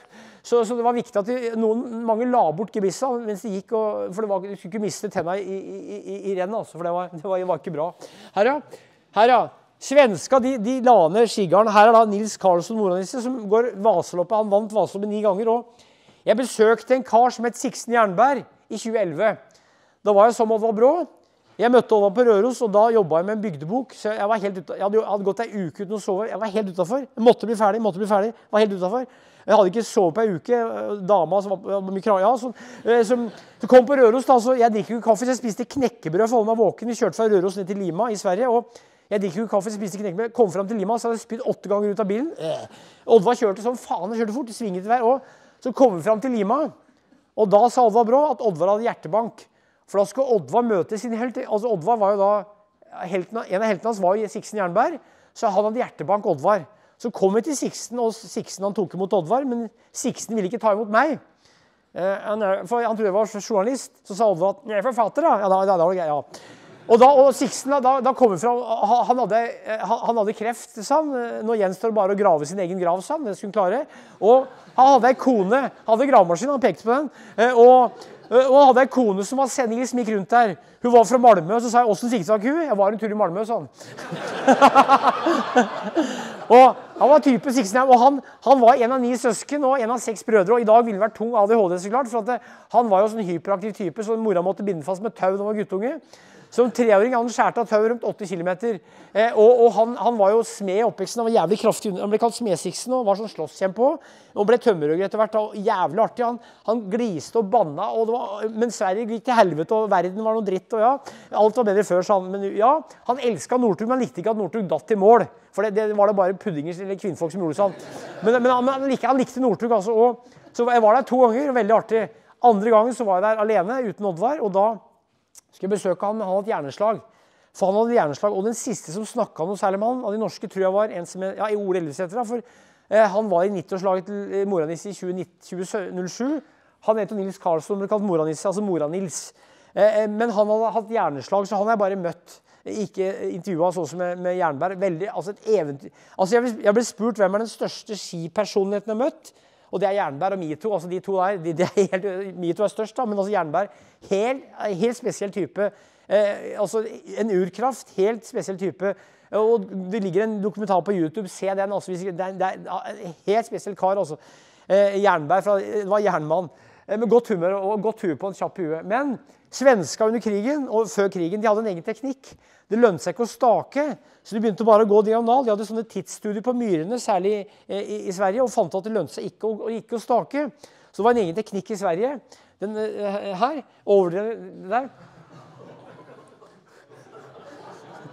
Og han vant Femla Colony i 1949. Han het Nils Østensson og vant med nesten 12 minutter. Jeg tror det var 11 minutter og 51 sekunder. Og han døde i 49. Eh, det her er Nils Østensson, og han kjørte seg Han var fra Transtrand. kjørte seg Han sovna tror jeg, på motorsykkel og kjørte i en fjellvegg. Men han gikk altså den overdrevne, og han, han vant på den teknikken her. Altså. Så de hadde ikke, hadde ikke aldri et dobbelttak. Eh, og da vi kommer til krigens slutt, 46, så er det jo da eh, Per Samuelsen fra Alvdal. Går en skidress av sukkersekker eller mjølsekker. Eh, og problemet var å få tak i strikk. Men så viste at strikken i dametruse egna seg bra. Så hvis vi skiløper da fikk lurt en dame til sengs, feide over huet og stjal tusen etterpå, fikk en dobbelt tur på kvelden. Eh, og, og, og, her, da. Her, da. Her er den svenske skispillen. Her til venstre her var så bratt at du måtte ta tak i greina for å komme opp. Og til høyre så måtte du rappellere deg ned. rett ned. Og jeg snakka med folk som var med her, og det var ikke kødd engang. Måtte ta tak i greiene. Og, men i VM i Falun i 1954 så var det to spor. Og i OL i Squaw Valley i 1960 i USA så var det kjørt opp spor. Hvis du går på YouTube, så ligger det veldig fine bilder fra Skow Valley med russisk eh, opptak. Fargefilm, hvor, du ser hvor de går. Og da er det Wiesel eller, eller noen slags eh, militære eh, snøkjøretøy som, som, har kjørt opp spor der og løyper. Men det kom altså bedre løyper på 50-tallet. Og her da, i 1947, i, i svenska skispillen Damer, ja. Masse damer som gikk langrenn. Her er de første vinnerne av OL Norge, for Norge, 1968. Berit Mørder i midten, og så er det Inger Aursnes til venstre og Babben Enger. De to på sida de lever. Merit Bødre ble borte i 2016. Men eh, Norge var jo da en sinke, fordi Sverige og Finland var damelangrenn helt lovlig. Eh, det var langrenn i Norge òg, men mer på lokalt nivå og mer i noe som het AIF, Arbeidernes idrettsforbund. Eh, det var òg kvinnehopping, masse av det. Jeg skrev en bok om det som jeg sa i fjor, om, om eh, hoppbakker. Men først i 52 fikk damene lov til å gå OL. Og det verste er at ei dame ble tatt ut i OL. Hun lever enda. Hun ble tatt ut i OL 52 i Oslo, på hjemmebane. Men hun fikk ikke fri fra arbeid en dag for å gå. Hun jobber på Glassmagasinet, og hun vil ikke stå fram med det. Jeg, vet, jeg, kjenner, eller jeg har med, men Hun vil ikke stå fram med det. Hun lever enda. Ganske tragisk. Men damene kom med altså i 50-åra offisielt, men de gikk i AF før krigen. Men, men var, de var rundt i mange stand. og det kom særlig på, og her, De her ble kalt Jentuten. altså Jentene er Jentuten. altså Ingrid Vigernes, som fylte 95 år om dagen. Født i 28, var fra Hemsedal. Ingrid Løken, født i Oslo, gift med Leif Vigernes fra Fettsund. Ingrid, ja, Vigernes, Jentuten, jent, Jentene, Jentuten, ja, jentene, ja, Skituten, ja, Knoftuten ja. Eh, eh, så Det betyr Jentene, altså. Det var 60-tallet. Og det var en revolusjon da. og Hvis dere går på YouTube, så ser dere at eh, Ingrid Vigernes sang sangen 'Jentuten' i 68. Men det var det første gullet for eh, OL for langrenn for damer. og det første, er det noen som vet når Norge tok det første gullet individuelt i langrenn for damer? Det er 2002 med Bente Skari. Det er bare 21 år siden. 2002. Det er ikke mer enn 21 år. Bente Skari eller Bente Martinsen fra, fra ja. Det, det, men det var jentuten pioner i 60 år. Det, det, som skjedde var at nå, bare ta grovt her, for at I 1958 i Lahti så gjorde Norge så dårlig i VM at da, eh, da var jo guttehopping den eneste idretten nesten i Norge for gutter om vinteren. Og Da ble langrenn etter hvert vanlig for gutter og jenter. Og da kom langrenn mer inn i bildet for, for unger òg. For det hadde vært forbudt for unger å gå langrenn, for var, da kunne ødelegge lungene. Det var ikke noe gærent å hoppe 50 meter for hjernerystelse og ligge i koma, men å, å, puste inn tung, kald luft, det var farlig. Så det skjedde noe på 60-tallet, men langrenn ble mer populært. Og så kom TV-en, og så kom scooteren. Det var lettere å lage skiløper, så det skjedde noe på 60-tallet med, med barneidretten, ungdomsidretten og kvinneidretten. Nå er jeg bare kjapp også, men, men jeg har skrevet mer om de andre bøker. Her, ja. Her, ja. Eh, eh, dama var med i 52, Gina Regland. og Hun var, var vel fra Hedmark, hun flytta til Lillehammer. og Da hun var med, sa hun det at eh, det var like mye kvinner som motarbeida hun, for at Mora syntes det var fælt at hun gikk langrenn. Kunne godt gå langrenn og være pen. Skulle ikke puste, pese og stønne, men hun skulle gå langrenn og være pen jente. Men hun var med og sto og slo med slegge på, på bildekk for å trene styrketrening. Eh, det var styrketreninga hennes. Eh, Gina Regland, som var med i 52 i OL. Og hun gikk Birken som prøveløper. Her, ja. Rulleski 58. Bra rulleski. Og de er, ledd av. Siste tømmerhugger på Mikspass, han er født i 1961. og Han kom i 1980-sesongen, født i april 1961, og, og, og, og fikk en stygg kobbforgiftning i 89. Han var jo veldig god og, var jo verdens beste klassiske løper en stund der. Eh, gikk veldig fort i motbakke. Før Klæbo er kanskje han som har gått fortest, jeg vet ikke, men han gikk veldig fort oppover. altså enormt fort. Jeg husker jeg så han jeg så første gang i 1979 i Nordbya på et renn i slutten av november. der, og Det var, det var som en åpenbaring. altså Han var en ekorn i bakken helt ekstremt fort. altså det, eh, Etter datida og korte staver og kjapp. Han er, har vært trener for Johaug de siste åra. Men fikk en stygg forgiftning i 89. Han skulle blåse et kobberrør hjemme på gården. På Bromma. Og fikk en forgiftning og ble skada og fikk noen problemer med immunforsvaret i mange år. Og kom aldri tilbake. Her, ja. Landsem i Rindalen, som nå er en del av Trøndelag. Marit Myrmæl fra Mæland til venstre. Oddvar Brå i midten og Berit Kvelå til høyre. Eller Berit Aunli. Hun var gift med Ove Aunli, eller er gift med han enda. Han som hadde så kraftig skjeggvekst at han startet glattbarber på femmila og kom i mål med fullskjegg. Eh, og, og, og gikk jo på Landsem, da. Landsem var en fabrikk som, som har starta Even Landsem i 46 fra Rindalen. Og den ble lagt ned var det 1.3.1987. Eller da ble den kjøpt opp av Matshus.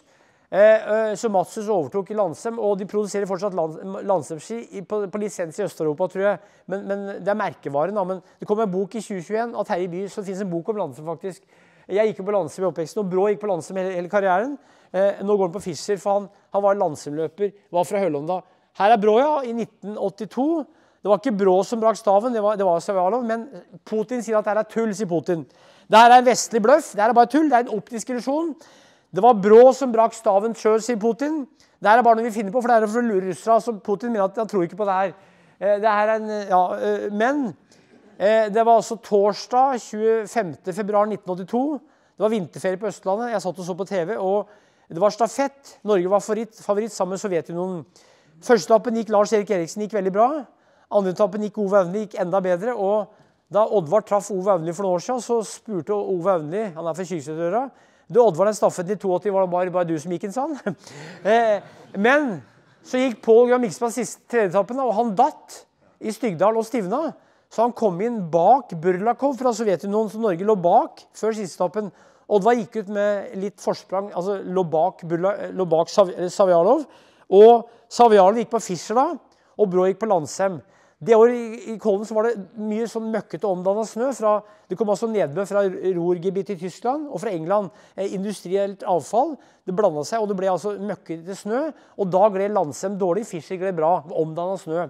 Eh, og da hadde jo Brå dårligere gli enn Savialo, men bedre feste. Så Brå tok en Savialo oppover, og han gled fra den utover. Og da var det ikke, det var 1 10 km, runden var sløyfa var 10 km. Og da de kom til på stadion, så visste Oddvar jeg må gå forbi den i siste svingen for å få forsprang før innspurten som var utover. Så han rykka da de kom ut til venstre i svingen der. Eh, og da gikk jo Sevalo litt ut. Kom bort til staven. Samtidig var det en kar som het Terje Bogen fra Bjerke, som, som hadde fått falsk akkreditering. Han løp langs løypa med en stav. 14 eh, dager før hadde Bogen vært på en stafett på Hønefoss. Da var det en løper som brakk en stav, så han hadde en stav han som var 1,47,5 lang. Bogen hadde votter på seg, Brå hadde hansker. Brå hadde like lang stav, 1,47,5. Eh, men Bogen hadde votter og Brå hadde hansker, så hempa var litt, var litt videre hos Bogen. Så da Brå brakk staven, så hoppa Bogen over et gjerde og fikk en strekk. Han klarte ikke å gå dagen etterpå, og ga Brå en stav. Så fikk Brå staven, og, og gikk da. Og så, så, så fikk han forsprang til Savjalov. Og så, og så kommer spurten, og så, gled, så gikk russeren ut. Fikk Brå et eh, Ja, nå, nå er jeg kjapp. ja. Og så kom det likt i mål. De ble dømt likt. Det vet vi at Første gang jeg snakka med Oddvar om det rennet der, så brukte han tre kvarter. Han huska hver meter. Av de gutta har klisterhjerne. Altså. Vegard Ulvang huska alt hva han smurte med i alle skirenn. Det er ikke kødd engang. Jeg testa den. Det er helt jævlig. Og, eh, KM i gutter 19, ja, Per Gudorland de husker hva jeg smurte med i alle skirenn. Eh, eh, de gutta der. Og Oddvar han eh, ble dømt likt, da. Men bronsen var også dømt likt. To dager før så hadde det vært VM i Oslo på 50 km, og da var Oddvar favoritt. Og da var jo mora, mora lever, hun er 90 år, eh, blir 90 år i år. Og faren var født i 20, så han var litt eldre. Men da skulle Birger, som var faren og mora Oline, se på TV-en i Hølonda, eller på Hølonda. Og eh, Birger sammen med bestemora og bestefaren til Oddvar, Ola og Johanna, så de, eller eller Johanna, så Birger orka ikke å se på Oddvar, han var så nervøs eller spent. Han gikk i skogen for å hogge tømmer. han.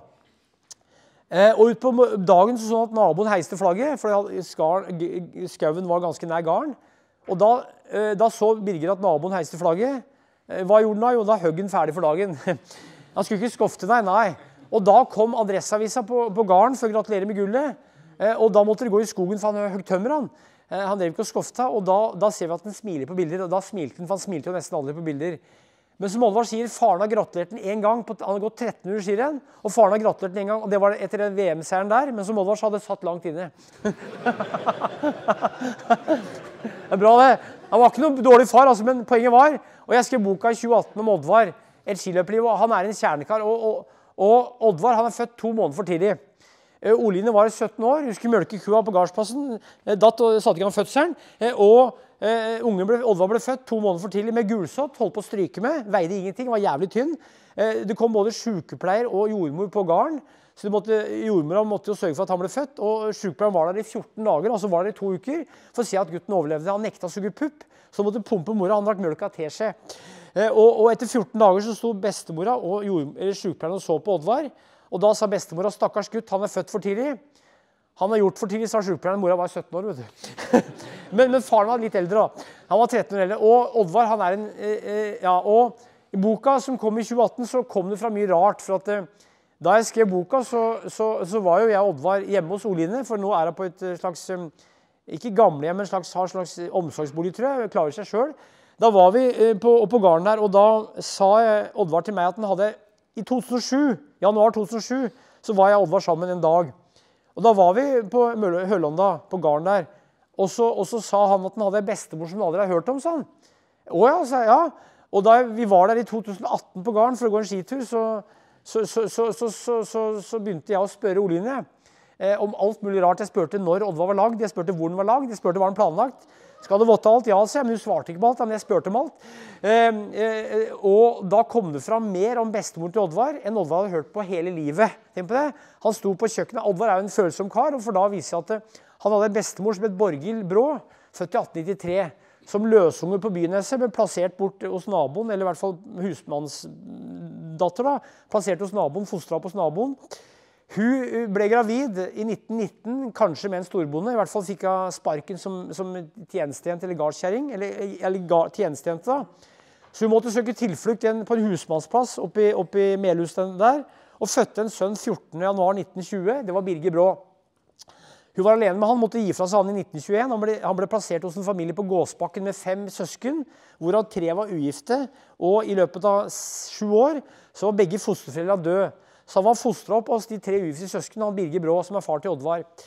Da Birger og Oline skulle gifte seg i 1951 i februar, for Oddvar ble født i mars Først gifta folk seg hva som var, fikk unger og nei, ble gravide og gifte seg. I dag er det ingen som gifter seg, og de blir skilt likevel. Men uansett, så, så, så, så, fikk ikke hun komme i bryllupet, hun dama her. Eh, og da Oddvar skulle døpes, det var vel i juni 1951, så var hun lova å komme i dåpen og fikk nei. Eh, hun fikk ikke komme Men Eh, det vi vet er at eh, de trodde på garn, Hun jobba på garn Storhaugen, da, som var på Kvål. At Oddvar visste om familien, men ikke ville ha kontakt før i 1968. Da var Oddvar blitt kjent, for han var med i EM for junior i 68. Han var jo en kjendis, han var god gutteløper. Eh, da skulle de åpne en lysløype på Kål i mars 1968. Og da, og da, var det sånn at gutten på Storhaugen, som da var tolv år, han hadde bestemt seg for å si nå til Oddvar nå kan du komme og se bestemora di for de trodde at han ikke ville ha kontakt, men at han visste om det. Men han visste jo ingenting. Han hadde ikke visst at han hadde ei bestemor han, på den, på den sida der. De andre bodde på gården. Så han Per, han gutten eller på Storhaugen, gikk mot Oddvar på det skirennet og snudde, etter, snudde, fem meter unna. De fikk ikke kontakt før, før 49 år senere, takket være meg. Eh, uansett så vet vi at eh, Borghild bodde på gamlehjem i Melhus. Og da hun døde i august 1980, så, så døde hun mens hun lå og så på et bilde av Oddvar. Et stort bilde som har stått i Adressa-avisa. Så hun hadde tapetsert eh, eh, veggene med bilder av Oddvar. Ganske spesielt. Og jeg traff Bjørn Wirkola, hvis noen har hørt om Bjørn Wirkola, hoppa på ski. Han var fra Alta, bor i Melhus. Eh, og kona er fra Melhus, og hun sa det at der visste alle at jeg var bestemor til Oddvar Brå, men Oddvar visste ikke en dritt sjøl. Og det fikk han høre da boka kom ut i 2018. Ganske utrolig altså, at det kunne skje uten at han visste noe. Men det var bestemora. Ja. Og, eh, men for, for, å bli folkehelt i Norge, da, så må du være alminnelig.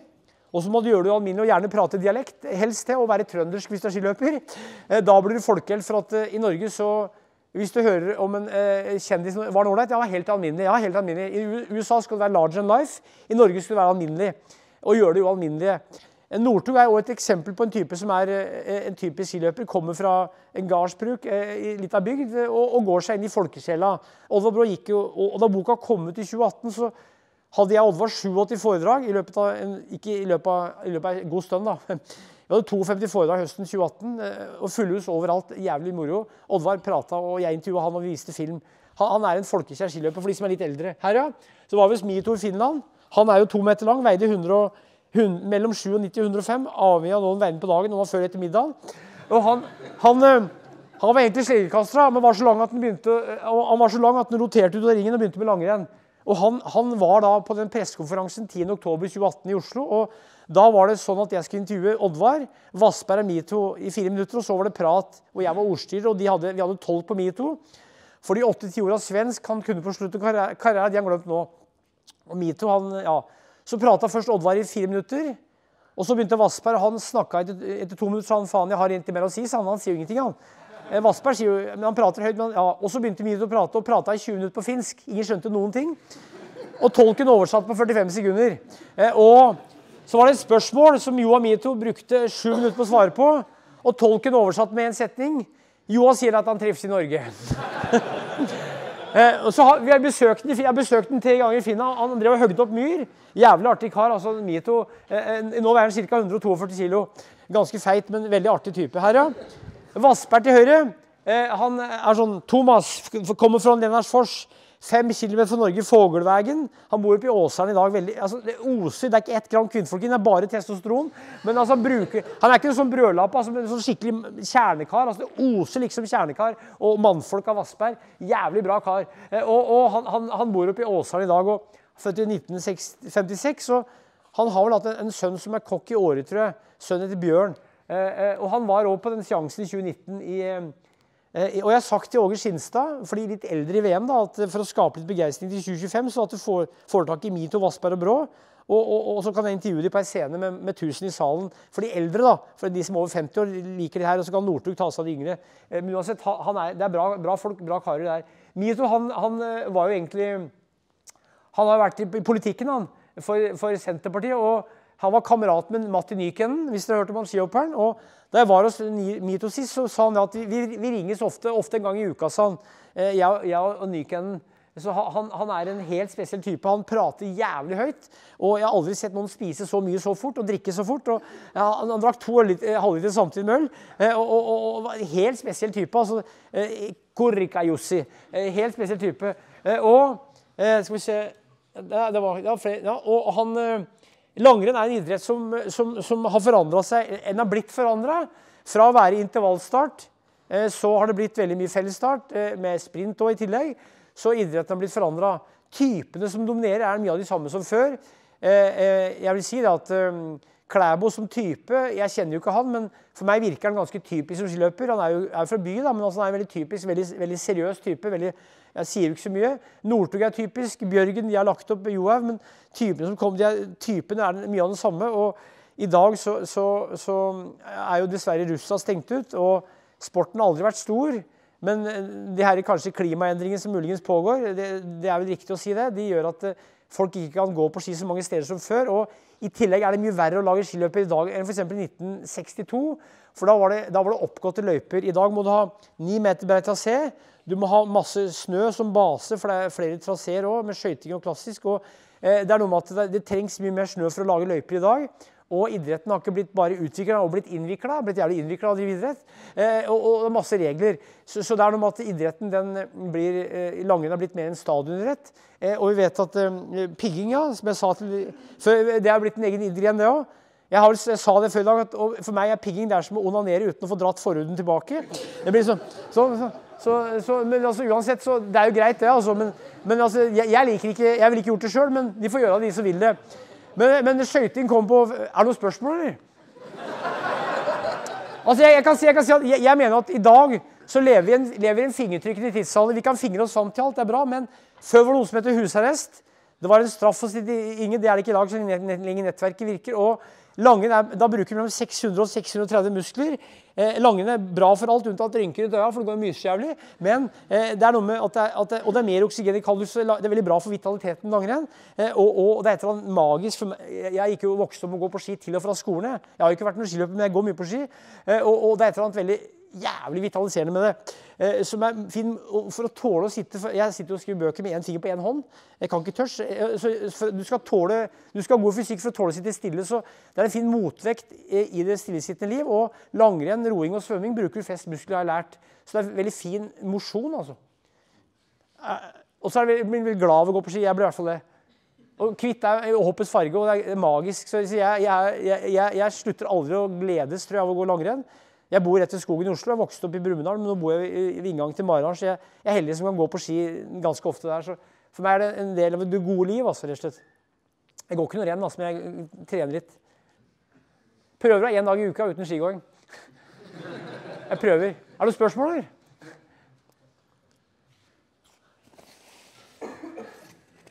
Jeg skal prøve å svare hvis noen har noen spørsmål. Jeg må legge den her. For det, sporten vil overleve, men, men eh, hvis det blir færre som går på ski, så skyldes det kanskje at, eh, at det er flere tilbud i dag òg. Men det er et eller annet med at eh, i Norge så er, og det å gå tur er en slags religion i Norge. Eh, nesten alle nordmenn som jeg kjenner, går tur eller liker å gå tur. så eh, Langrenn er jo turgåing om vinteren, så det har noe med fjellet å gjøre òg. Vi er jo, Uansett hvor du bor i Norge, er du aldri mer et kvarter unna skogen, havet eller fjellet. Eh, og, og, og eh, langrenn er jo noe som du kan drive med utover i mai og juli. Jeg prøver, pleier i hvert fall å gå ut av april hvert år. Jeg. Eh, men det kan gå lenger ofte mange steder. Det er, det er en idrett som kan utøves mange steder i ganske mange måneder i året, hvis du bor nær fjellet i hvert fall. Er det noen spørsmål? Ja? Ja?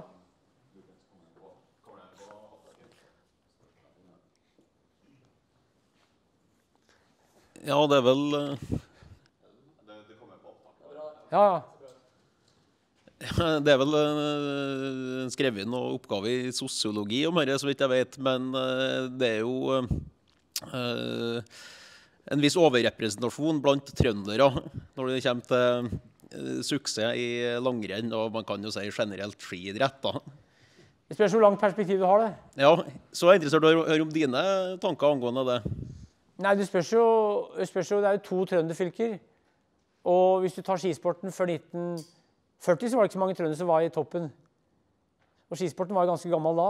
Men det var visse epoker har trøndere vært ekstra gode. Og I langrenn så tror jeg det har noe med å gjøre med at hvis du klarer å beherske forholdene i Trøndelag en ting er forholdene. Hvis du klarer å beherske forholdene i Trøndelag, så behersker du alle forhold. For det er veldig varierende forhold for lange, altså gamle klassiske med smøring og, så, og sånn. Så tror jeg at lands, Trønders landsbygd er, er, veldig bra for å ale fram skiløpere. Eh, men, men, det har vært epoker òg, da.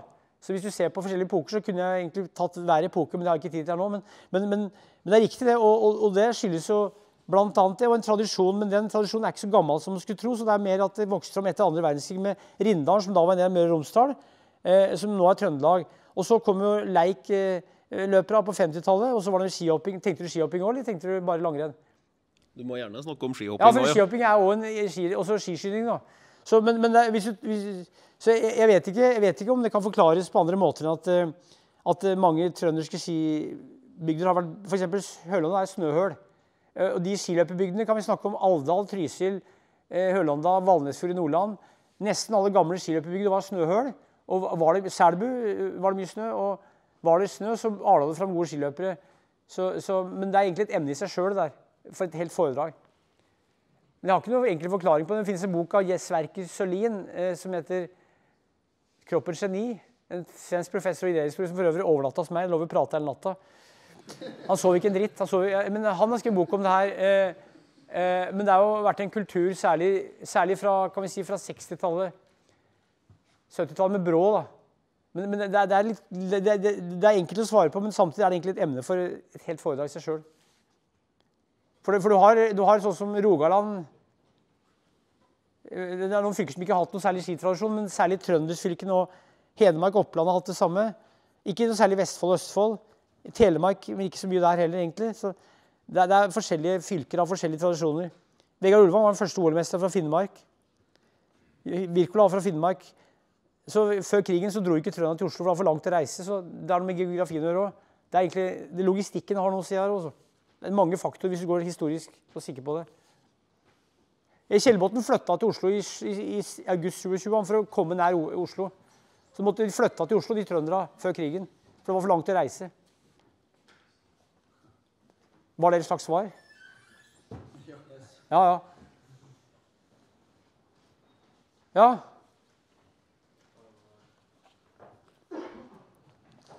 Jeg hører det i buksa, du må bare ordne kølla her. Eh, hva er den fineste skituren du har gått?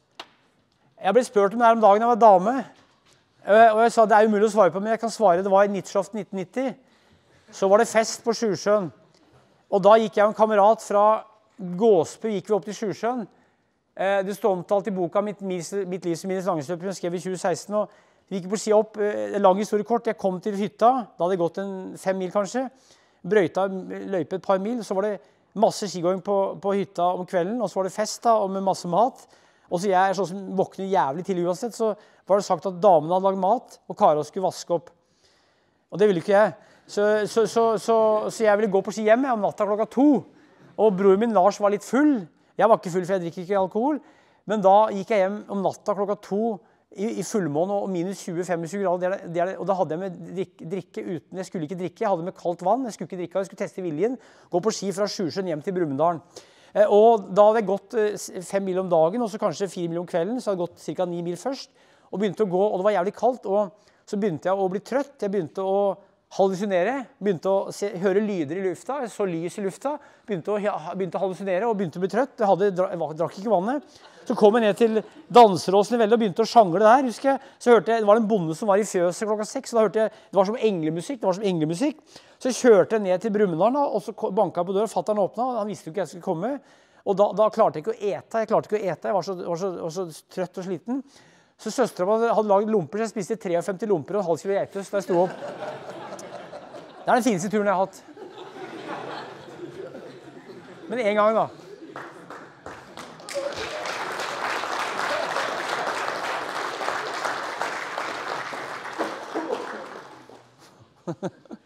Men jeg, jeg, jeg, liker ikke å rangere, for jeg, jeg går, går eh, I går gikk jeg på ski en times tid, og da gikk jeg fra Korsvoll bort til Hammeren og litt opp til Ullevålseter. Og så gikk jeg tilbake, så jeg liker å nyte hverdagen. og går, Den fineste runden er noe som heter 17 km i Brumunddalen. Den er fra fire, altså blitt 25 km hvis du tar med 4 km hver. Ja. Så det er favorittløypa. Den står omtalt i den boka der. For, for, for jeg liker motbakker. Jeg elsker motbakere. Sla, slake motbakere er det beste jeg vet. Lange, slake motbakker med, med diagonal. Og så, det syns jeg er skikkelig ærlig. Så hvis det er kupert terreng, syns jeg er godt å gå i variert eh, teknikk. Og så gjerne fem-seks hurrader og, og, blå ekstra eller noe sånt. Og sånn Det er bra. Her, ja. Det sant at det var en fra Trysil eller Engerdalen som gikk på ski til eh, Oslo på femmila, og så skulle han gå femmila dagen etter? Det er nok ikke sant, men eh, for å ta Trysil, da, så var det en som på 1860-tallet gikk på ski fra Trysil til Oslo og Kristiania. Og gikk skirenn og gikk videre til Drammen. gikk tilbake, Han gikk sannsynligvis tur-retur Trysil-Drammen på ski. Det var i 1860-åra. Eh, det var folk som har gått på ski fra Trysil til Elverum og tatt toget videre. Eh, det er også en som het Truls Bråten, som var fra Modum. Han hadde ti unger og tømmerhogger. Han gikk jo på ski fra Modum til Kristiania. Og så gikk han femmila og vant dagen etterpå og gikk tilbake. Eh, men det er jo folk som har gått på ski eh, langt for å komme til Oslo. Men jeg vet ikke om noen av de vant. Men Truls Bråten gjorde det, og han gikk ca. seks mil. Men at det var noen fra Trysil som gikk til Oslo, det vet vi. Men vi vet ikke om de vant femmila. Altså, jeg, jeg, er litt forsiktig med å si det, men det går mye vandrehistorier. Men, men, men, men, de ble jo lengre etter hvert. Men, det var vanlig å gå på ski fra Trysil til Elverum. Og de fleste tok toget. for at de som var med da, for i femmila 06, de jo de hadde jo ikke penger sjøl, så de hadde fått penger samla i en hatt. Eller noen rikfolk hadde donert. Så de hadde jo reisepenger eh, fordi noen hadde gitt dem penger, stort sett. Men, men f.eks. i 1888 da, så gikk jo han, eh, Torjus Hemmetsveis gikk jo på ski fra Morgedal til Kongsberg. Og Da traff hun Fridtjof Nansen på stasjonen, og da hadde han gått 12 mil på ski. og Det er langt, altså, med de gamle skia. Altså, det, det, 12 mil er langt, men det var en dagsetappe for de gutta der. Eh, det er også eksempel på en svenske han var tømmerhogger, som gikk på ski 17, km, 17 mil annenhver uke hver vei. Altså 17 mil, Han pendla på ski 17 mil. Men, men, men jeg, jeg, er litt jeg er forsiktig med å si at noen har gjort det å vinne femmila. Men Truls Bråten skal ha gjort det også. Eh, det ble, det ble sagt at Truls Bråten at han gikk, femmila, gikk fra, fra, Modum til Oslo om morgenen, og så var han femmila. Men han gikk dagen før, er det jeg har fått opplyst. Så det er én som har gjort det. Altså, men at han gikk fem-seks mil. Hvis du vet hvor Modum er, da. Det er fem-seks mil fra Oslo. Det er han som er ganske sikkert har gjort det, å vinne i femmila. Men Rønnes i 06 gikk jo fra, fra Trysil til Rena, sju mil. Men, men også er folk som har gått på ski fra, fra Romerike. Og, men de, de, de, de, var ofte ikke, ofte ikke, de som vant. Det er en egen diskusjon der. Jeg kunne snakke lenge om det der, for det er mange eksempler. Masse historier fra bygdene. Ja. Det gikk jo en historie også om at han Sangen, ja. som du snakker om, mm. at han gikk fra Trøndelag til Oslo for å være med i femmila i Holmenkollen. Ja, det har jeg hørt det der, jeg òg. Jeg tror ikke det stemmer, men han jobba jo i jernbanen, gjorde han ikke det? På Tamsdalsbanen. Jeg er ganske, ganske, sikker på at han ikke gjorde det, men, men, men, jeg vet at en som heter Olav Ridal, som var fra Brekken, har hørt om han? Han lever ikke noe, men han gikk på ski fra Brekken, eller Brekken innafor der. Han var fra 50 meter innafor og ned til Trysil 50. Det er ganske mange mil. Men, sies det da, og det her kan jeg si nå, for nå er han borte Han brukte buss litt av veien. Men, men, men, men to-tre mil altså det, Jeg har et vitne på det altså, som har sagt det, for han, han ville ikke si det mens han levde. Si at, men, så, så det, folk har gått 10-15 mil, og vi vet at en som heter um, Ole Langhol, som var fra Jøddalen i, Jøddalen i Trysil Ole Langol. han gikk på ski fra Hvis noen vet hvor Jøddalen er, da? Eh, det er vel en, noen mil fra innbygda, som er sju mil fra Elverum. Han gikk på ski fra Jøddalen til innbygda og videre til, til Elverum, 11-12 mil. Eh, så hvis du legger sammen de, så blir det mange mil. Altså, jeg har skrevet en bok om både Trysil og Alvdal. og Hvis dere har hørt om Gunnar Tronsmoen, har hørt om, født i 29 Han hadde en bestefar, han. Eller var det oldefar som var født på 1830-tallet? Som hadde løpt fra Alvdal inn til Oslo for å ordne noe greier. Vært borte, borte ei uke. Ja, men Han løp tre dager hver vei. Han løp observert ganske bra fart nedover i Østerdalen. Det er, jo, tror, er det 35 mil? Jeg vet ikke hvor langt det er, men han løp tur-retur eh, Oslo-Alvdal eller på, på 1850-tallet, for det var ikke noe tog der. Men altså, eh, du, du kan løpe langt hvis du løper hele døgnet, altså. Så, så, så, og, og, de, og de her og de skiløperne var seige karer, så hvis du finner en marsjfart, så skal du ikke gå så fort. Hvis du klarer å gå la oss si, 16 timer i døgnet, så, skal du gå ganske, så kan du gå 15 mil om dagen på ski. Så, så det er noe med at de her var seie, Og det finnes jo samer som har gått masse mil på ski. Det er eksempler på samer som har gått eh, enormt langt eh, fordi de var så jævlig utholdende og sov så lite. Så det er mange store prestasjoner eh, om det der. Men, men, men, men, i langrenn så er det en del vandrehistorier som sannsynligvis er feil. Men mye av det er nok også sant, tror jeg. For at det, det var ekstreme typer, altså. Harde, harde, harde karer og damer. Og utstyret var litt, helt annerledes. Og, og jeg, jeg er jo 57-58 år, og hele livet mitt har det blitt bedre løyper og bedre utstyr. Så jeg tenkte på det i går. Jeg går, jeg går på nyoppkjørte spor. Jeg har veldig bra staver og utstyr. så Det er så bra utstyr i dag. Så vi kan tenke oss eh, å gå femmil på, på treski i 1923. Det er helt for, altså, vi hadde ikke vi hadde fått sjokk, altså. Jeg vet at i 19, 1927 var det femmil i Kollen. Det var tre mann under fem timer. Tenk på det. I 1934 var Birken i vann på 5,41. Beste maksimaltid var rundt 7,14. Det var seks mann under seks timer i 1934 i Birken. Tenk på det. Eh, helt forferdelig. Så i dag så går de på 2,20. Så, så, så, så, utstyret er så bra, og, og, da er det lettere å gå på ski. Så det, er, det er veldig behagelig å gå på ski, synes jeg, sånn som det er blitt i dag. Treski var, kunne være veldig gode, de, men kunne være også forferdelig. Jeg har lyst til å lage en bok om Sagnhild, for han, han er verdt det. Men bare, må bare sette at de, han er en, Du kjente ham, eller? Nei. Ja, ja, ja. En legende, altså. Og han eh, var artig kar, tror jeg. Han sa mye rart og gjorde mye rart. Sånn liten, energisk. Han Sykla han ikke fortere enn bussen òg? Jeg tror det. Var det ikke inn, eh, altså Nedenfor Surndalen så er det en bygd eh, Hva heter det for noe? En vik der. Ikke Mjølkevik, men nedenfor, du har Surndalen, så var det eller vik nedenfor der hvor han, jeg tror kona hans var fra. Han sykla i hvert fall fortere enn bussen dit, ble det sagt. Eh, bussen stoppa jo ofte. Han var hard på damene òg, tror jeg. Det sagt. Jeg bare sier hva folk har sagt, jeg. Jeg sier ikke at det er sant. Jeg er jo folkeimmigrantsker, så jeg, jeg intervjuer folk. så Det er jo en del av jobben å presentere sånne ting. Så skisporten vil overleve, men hoppsporten er, er, er, ikke så stor. Og det er jo mange rundt det. Men det er det få som holder på. Men er fortsatt, Norge er fortsatt landet i verden med flest skihoppere og flest hoppbakker. Ca. 400 bakker. Men, men, men der er det få utøvere altså, til sammen i verden. eller i hvert fall Det sies at i Finland var det under 50 som hoppa på ski i fjor. har jeg hørt. Det ble sagt at det finske mesterskapet var det 23 deltakere, hørte jeg i fjor. Det er bare noe jeg har hørt, altså folk som har vært der. Så det, det, er- Den har krympa inn, det er, men det er en egen historie i seg sjøl. Langrenn er, er fortsatt veldig stort. Skøyter har blitt ganske lite òg, det, det er jo ski og skøyter som er nasjonalsportene. Men, men langrenn vil overleve, for det er noe med turgåing her og noe med at du kan drive med til du blir gammel. Eldste skiløperen visste han ble 109 år og 8 måneder. Eh, Han slutta da han var 100 år, for redd for å, bli, for å, bli, for å brekke lårhalsen. Han, han, jeg intervjua han da han var 107 år. Og da, og da, Det var lille julaften 2007 på Gjøvik. og da eh, hadde jeg, var redd han skulle dø, for jeg trodde han skulle stryke med. Eh, han, han var nemlig skimaker, og jeg hadde intervjua han om, til en bok om skifabrikker. og så Jeg fulgte med dødsannonsen i Oppland. Han bodde på Gjøvik. Men så ringte jeg på, så, så svarte ikke telefonen. Eh, jeg svarte ikke på, ja, Så kom jeg ned fem etasjer med stokk gående. Du bruker stokk, sa jeg. Ja, du vet, etter at jeg fylte 106, så har jeg begynt å føle meg gammel. sa han. Så han fått lungebetennelse og blitt lagt inn på sykehuset da han var 106 år.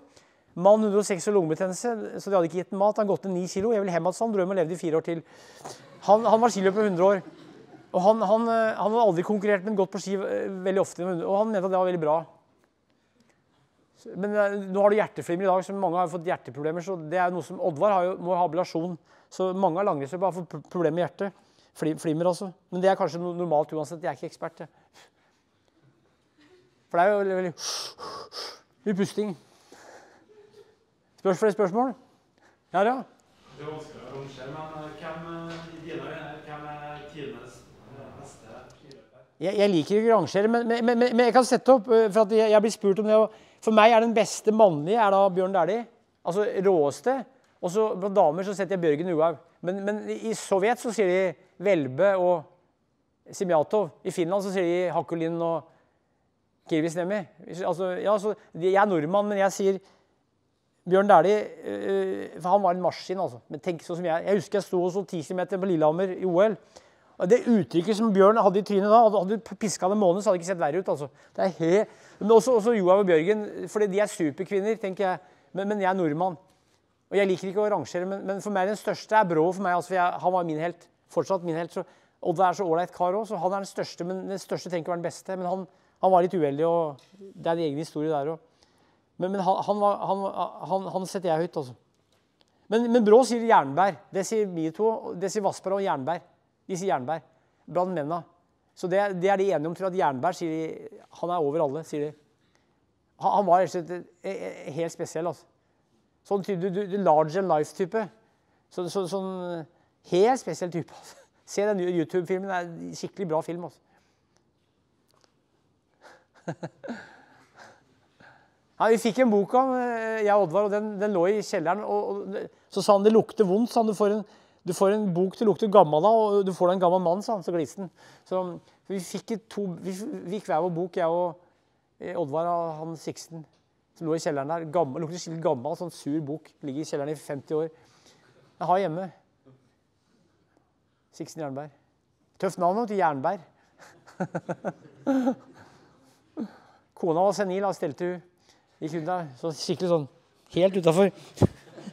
Jeg var jo tur i Malmö, sa han. Faen. Han var politisk ukorrekt på alle måter, altså. For det, Mye av klokka nå, egentlig? Ja, Et spørsmål til slutt. Noen, jeg, jeg, jeg kommer til å lage en bok om Northug, den kommer i september. og Vi skal sannsynligvis ha en, noen foredrag oppe i Trøndelag, jeg, Petter og jeg. Eh, og så lager jeg flere langrennsbøker, så jeg fortsetter med det så lenge jeg har noe å skrive om. så fortsetter å Og, jeg skal være gjest i en del podkaster. Jeg syns det er moro å være gjest i podkaster. Så jeg stiller, opp, det. Er en fin måte å, det er jo gratis å høre på, og jeg, stiller, jeg gjør det gratis det. Men det er en fin måte å formidle skihistorie på, eller annen historie på. For podkast er genialt, altså. Syns jeg. Ja, spørsmål? Vet du noe om langrennshistorien fra Nord-Norge? Ja. Du tenker, hvor, hvor i Nord-Norge da? Hvem? Hvor? Når? Vi er en gjeng her fra Alta, så hvis du har noe derfra, så er det Massevis. Bjørn Wirkola er jo han var fra Alta. og du vet, Hvis du går til gammel samisk samisk skitradisjon, da, så kan vi si at samene sannsynligvis er de som fant opp langrenn. Ikke moderne organisert variant, men at samer gikk langrenn tidlig. og det var jo, vet at det var konkurranser der, uoffisielle konkurranser på 1700-tallet. og eh, Masse skihopping. Og Bjørn, som er født i 43, Wirkola, var jo flytta jo kort sagt til Me- Melhus eller Trondheim i 62. Så, så han var, det var jo løper for han. Det var en som het Per Olsen som var med i VM, OL i 56. Men problemet før krigen var at det var så langt å reise. Så da Bjørn dro til NM i 1961 til Øystese, fra Alta til Øystese, så reiste han seks dager én vei. Reise, og da, må, da fikk han betalt reisen av en kar. Så problemet var logistikken, for før det var fly, så måtte du og eksempel Ole Hegge, da, som ble nummer to på femmila i Kollen i 26. Da samla han penger. Han var en måned i, var fra Bardu. Var det en måned eller to måneder på reise her. Og Jeg snakka med en som het Rolf Karlsson. Han var fra Valnesfjord. Han sa det at han reiste, så var det innsamling av penger på lokalet. og eh, De skrev seg på liste på landene, for de hadde ikke penger. Og de reiste rundt som loffer om vinteren. med, med, med, med så, så det var det at det var langt unna, men de hadde sin egen idrett oppi der med egne renn, hovedrenn for Nord-Norge. Så det foregikk langrenn og ski, hopp, der. Så det var en egen skisport som foregikk i Nord-Norge. Men den er gammel, og det første skirennet vi regnes som ordentlig, det var i Tromsø i 1843. Det var en som het Otto Theodor Krogh, som var fra Vestnes i Møre og Romsdal. En prest. Var sånn som bada naken og ikke røkte og drakk. Han var sånn nudistprest. Han hadde skirenn i Tromsø 1843 fellesstart. Eh, eh, det var en kven som vant. Så kvener òg hadde skitradisjon. Så i Finland der, der begynte de med to staver. Samene begynte med to staver. Samene fant opp eh, diagonal, sies fordi det var jakta. Men også i sør her var det, her var det da én stav. Og andor, altså skinnkledde ski, en, en lang ski og en kort ski. Korte var det skinn på, så sto det på den lange. Så samene er pionerer i diagonal, og samene er pionerer i langrenn. Altså hvis du går langt tilbake, da. Men det var logistikken. Hvor skulle du komme Så E- Vegard var den første OL-mesteren som jeg vet fra, fra Finnmark. Eh, og Alta er et område, for det er veldig fint i Alta. Veldig fint for å gå på ski. Eh, og du hadde, Per Olsen var den første virkelig gode som da drev med kombinert. Han bodde på Lillehammer, eh, for da, han kunne ikke bo der. Og Oddmund Jensen, som var fra Sørfold, i Kvarv, i Salten i Nordland fylke, han, han flytta til Alvdal i, i 19, september 1948. og han ble landslagstrener. Det er en egen historie, det. altså. Eh, ja. Kunne stått her til i morgen og pratet om Nord-Norge. Men er mange, og Inger Aursnes, eller, eller, eller, eller flere av damene var hun var jo fra, så, så det var og mye kvinnelangrenn fra Alta. Så, Det har vært veldig mye skiløping i Finnmark eh, spesielt, men nå Troms og Nordland. Men var, altså, før var det avstandene, så de konkurrerte oppi der. Eller flytta sørover. Simon Slåttvik fra Valnesfjord flytta til Lillehammer. Han var OL-mester i kombinert 52, var fra Valnesfjord. Gikk for Stålkameratene. Så måtte bosette seg sørpå. Drakk vann før han gikk opp og hoppa han. Trodde vi, ja. Ja, han tok en dram, ja. Han røkte, han på toppen. Ja, Han gjorde mer, han, men han harding. altså.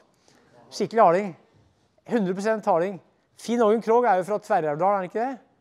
Moderne skiløper, så, så det er mye skiløpere oppi der. Og Vegard er fra Kirkenes, Ulvang. Og, og Bjørn Wirkola fra Alta, så han regnes som en av de store skihopperne. Bjørn Wirkola. Ja, Målsauer, ja. OL-mester i kombinert 56. Ja, det er mer også, men, men det, var, det var en kjapp versjon. Siste spørsmål.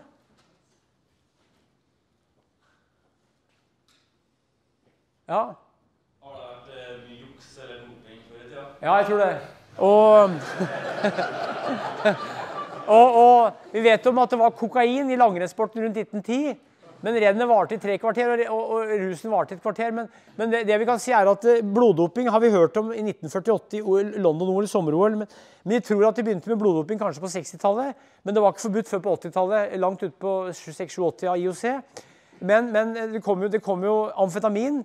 Og Eero Mentoranta fra Finland han brukte amfetamin i 1971. I desember ble han tatt. Og i 1939, 30. november, så gikk eh, Sovjetunionen til krig på Finland. Og da I vinterkrigen så brukte da Finland noe som het pervitin, som var amfetamin som de fikk av tyskere. Og De brukte det i vinterkrigen i 39-40. og Da gikk det finske stafettlaget fra 38, Kalle Jalkan, Jussi Kurikala, med en til. De brukte pervitin og kunne gå ei uke uten å sove. og Det ble sagt at en, en, en pille kunne, altså to piller kunne kikke på en død mann.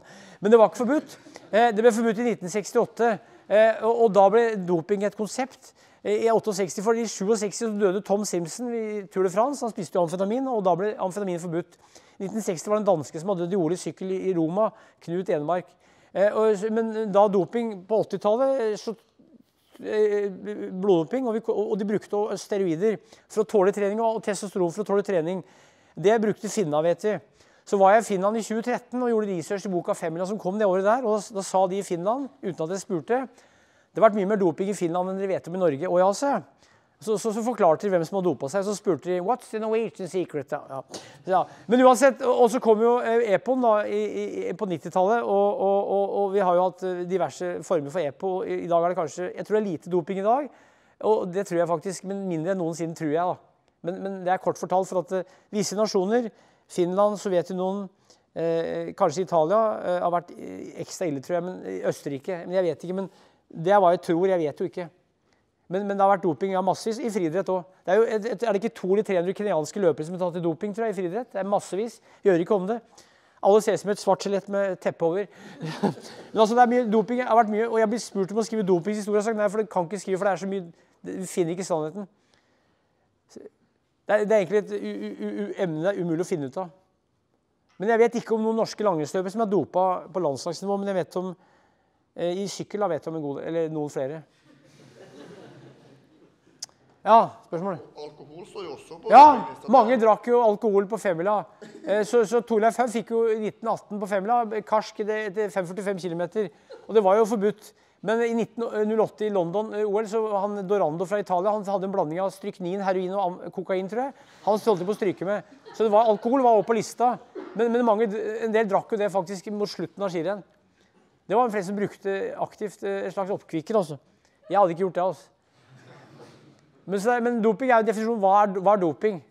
Eh, Så Noen sier at astmamedisin er doping, og Russland sier at nordmenn er- doper seg med astmamedisin. Jeg, jeg er ikke ekspert, altså jeg, jeg er ikke lege. Men, men, men det er- en diskusjon om hva som er doping, ikke doping. Så da kan vi gi en stor applaus. Til-